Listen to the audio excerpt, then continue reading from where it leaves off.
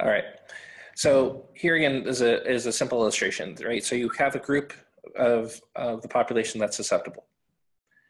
And then a part of them becomes infected. And of those that are infected, some are symptomatic, and we identify those as cases because they have symptoms and they've come to a healthcare expert for evaluation. Um, while some of those that are infected remain asymptomatic and are unknown. Those cases, um, for the majority of them, are particularly with COVID-19, are going to be sent home, and they're going to convalesce at home. Um, and some of those that are convalescing at home are going to worsen and be hospitalized.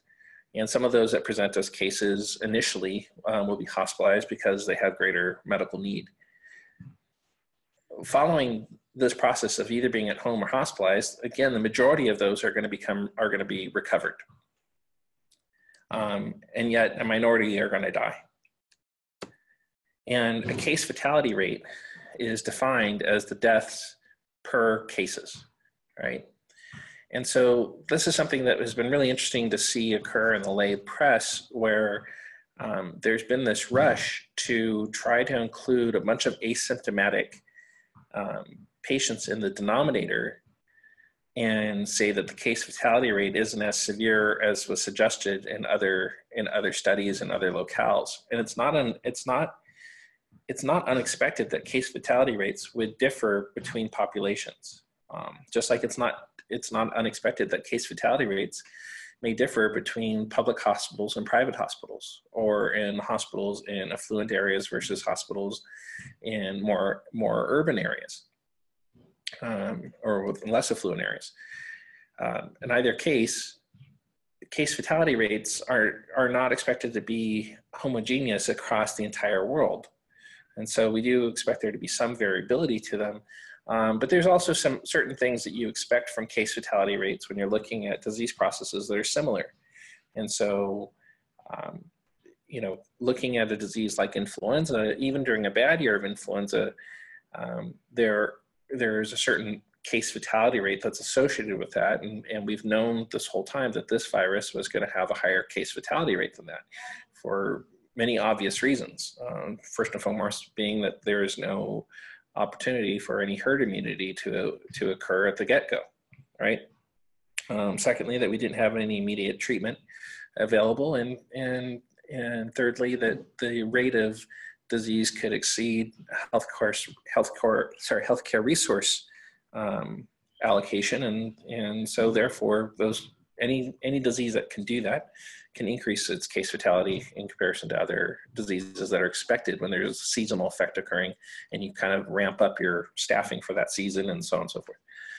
Um, so I think you know the important part here is just to just to recognize this that this is the way that you die this is the way you calculate a case fatality rate.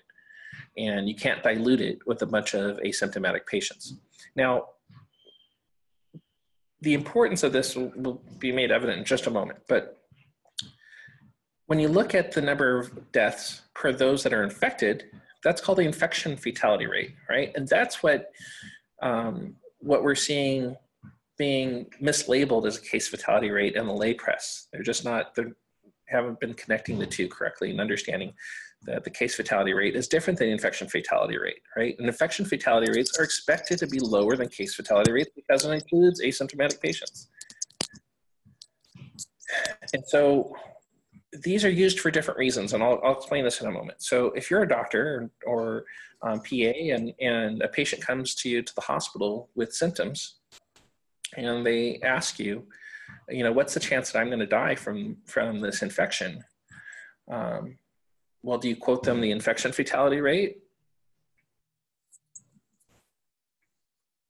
Or do you quote them the case fatality rate, right? And the, and the, the proper, in my opinion, the proper answer is that you quote the case fatality rate because that's what we know of patients that are presented with symptoms that have required, especially those that required hospitalization and so on and so forth, that there's a certain fatality rate associated with that.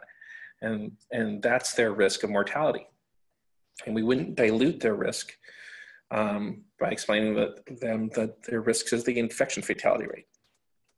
On the other hand, um, if you are in charge of planning health resources across the country, the infection fatality rate is an important aspect to know of how many, what, what your burden is going to be, uh, particularly on services that service the dead. And that infection fatality rate is an important predictor of where you need to allocate resources uh, for that. Because again, we expect these rates to differ um, across different geographies and across different socioeconomic bounds and, and across different, you know, even different countries with, within all of that. And so the infection fatality rate is an important uh, metric as well, but it's used for a different purpose. And it's not, it, it's, it's not to um, diminish um, the worries or concerns of those cases that we see. Are there any, any questions about the differences here between, between, these, uh, between these rates?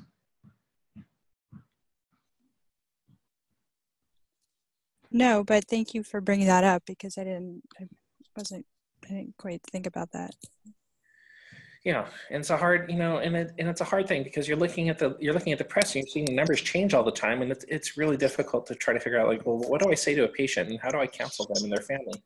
with regards to what's going on. And, and you kind of really have to have these strong delineations in mind of like um, why we created these definitions and these rules and what their, what their benefit is to information. So